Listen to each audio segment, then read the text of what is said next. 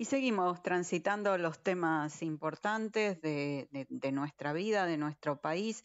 Y el gobierno mandó al Congreso algo que dio en llamar vulgarmente ley hojarasca, un paquete de, de, modificaciones a las leyes, a las justicias, con una serie de leyes que perdieron vigencia, que fueron sustituidas o englobadas por leyes posteriores, con otras que quedaron obsoletas con leyes que el gobierno entiende que afectan las libertades individuales. Bueno, una reforma profunda que originalmente formó parte de la ley bases, luego se quitó y ahora entra de manera independiente al Congreso.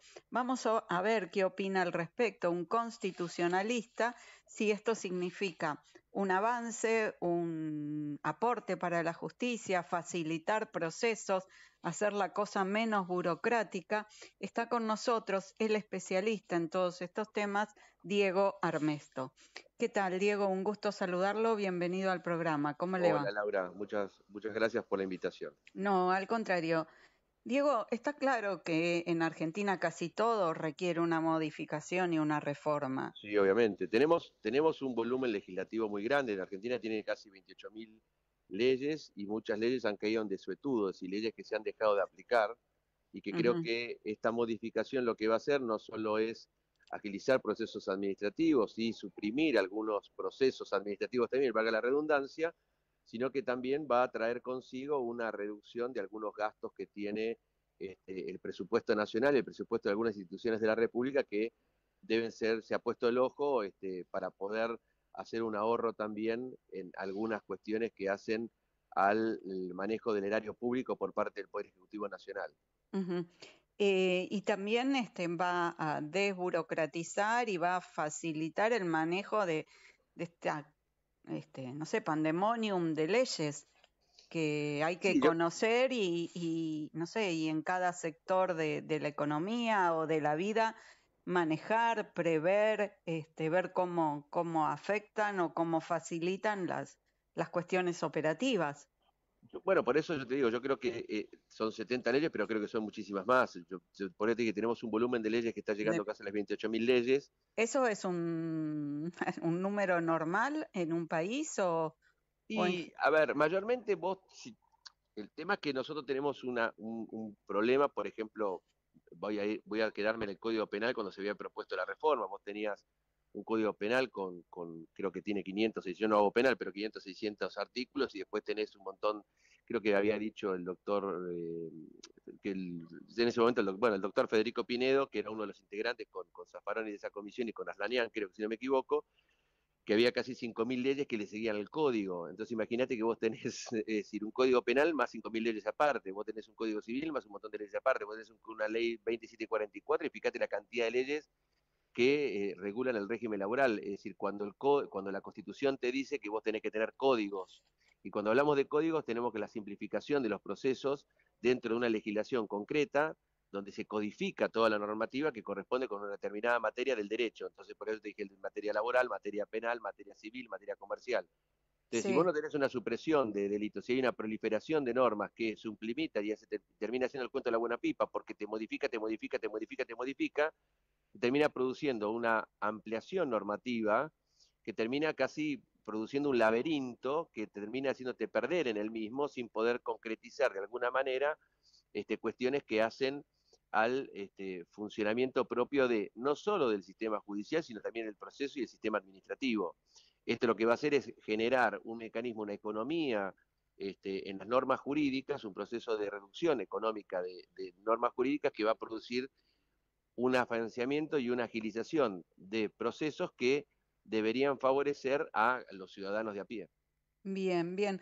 Eh, pareciera ser que esta es una iniciativa de toda lógica. ¿Usted cree que, que va a haber oposición a la misma?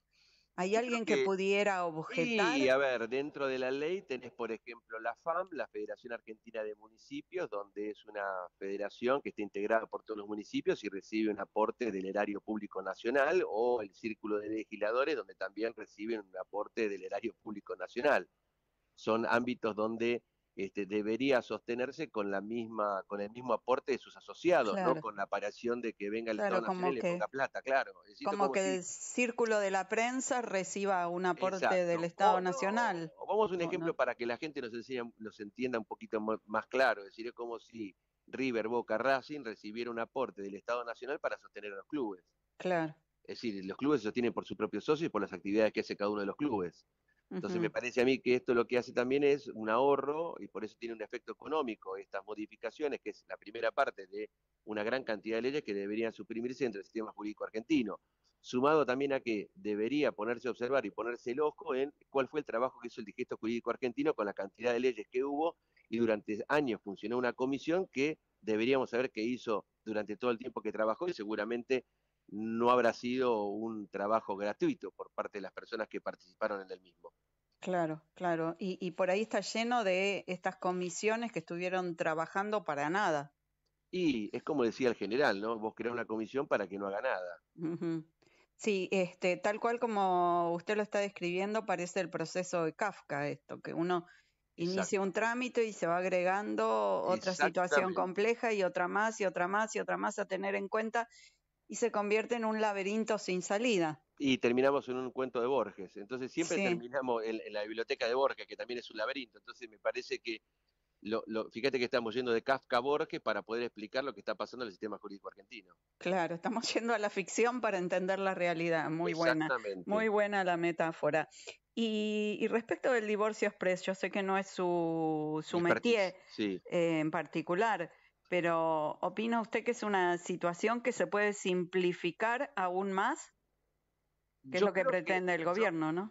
Yo, voy a seguir sosteniendo una postura que creo que es lógica y que hay que contemplarla. Es decir, el viejo código Vélez Arfield contemplaba a la unión entre dos personas dentro del, capítulo de contratos. Todo contrato tiene un efecto jurídico y eh, al, largo tiempo tiene un efecto jurídico y económico. Entonces, una simplificación de, meramente administrativa de un divorcio me parece que tiene implicancias económicas y eso tendría que contemplarlo. Obviamente que habría que observar el proyecto de ley y, que, y preguntarnos qué sucede con el efecto económico de una división de bienes. ¿Qué sucede con el efecto económico y jurídico cuando hay hijos? ¿Qué sucede cuando se producen algunas cuestiones que hacen al aspecto económico y el resultado de un contrato donde se va a terminar resolviendo estas diferencias que pueden establecerse en una pareja, en un matrimonio, que sea del mismo sexo, de distinto sexo, del color que le quieras poner. Si me parece a mí que tenemos que tratar de no simplificar solamente en cuestiones administrativas y dar un tratamiento express algunas cuestiones que tiene que resolver la norma jurídica, sino que también tenemos que ver el efecto económico que tienen las resoluciones administrativas. Bien, de todas formas, ¿usted cree que la tendencia a simplificar y a desburocratizar es la tendencia correcta? Yo creo que sí, sí, sí, yo creo que sí, que hay que desburocratizar la Argentina y tratar de hacer mucho más ágiles y fáciles los procesos para todos los ciudadanos, porque siempre terminamos con lo mismo.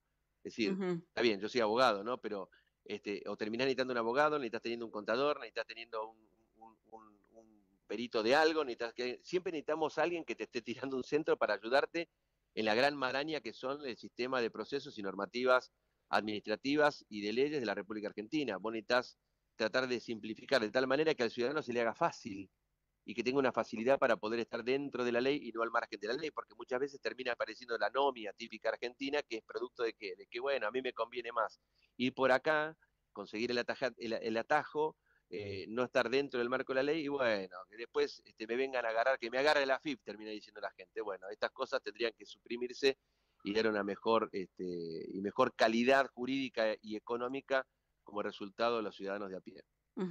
Eh, no sé si el ejemplo va directo, pero en el año 85 yo estaba en Europa, era muy jovencita, y compré un auto con un trámite de cinco minutos en un correo en Holanda. Bueno, yo tengo amigos míos que compran departamentos y compran este autos en los Estados Unidos sin ningún problema. Anda a comprar eh, un auto acá. No, que no, el 08, que el 05, que el 04, que el formulario, que, la tasa, que, la firma, que el registro, que la firma, que el escribano, que el persona no políticamente expuesta, que esto, que lo otro, papá, terminás estando un mes tratando de hacer un trámite para comprarte un auto, cuando en cualquier otro lado lo compras en dos minutos. Bueno, y ni le cuento si uno quiere vender un auto de un padre que falleció. Olvídate. No, no, no, dos años me, llevó el trámite. y, bueno, yo cuando vendí mi auto hace un tiempito, este, me acuerdo que tuve que ir a la policía, como soy de provincia, a la policía bonaerense, hacer la verificación vehicular, mostrar que tenía las autopartes, que no estaba robado, que estaba la BTV, que estaba la calcomanía, que estaba la BTV, que estaba todo. Todo es un problema. Y que el juez, y que en, en mi caso además, que el juez de la sucesión me autorice. Exacto. Que, que eso lleva su tiempo también. O sea, e, es una maraña increíble cada trámite. Exactamente, por eso me parece que hay que tratar de simplificar y arreglar un poco la vida de los argentinos, que eso va a hacer que estemos un poquitito mejor en algunas cuestiones.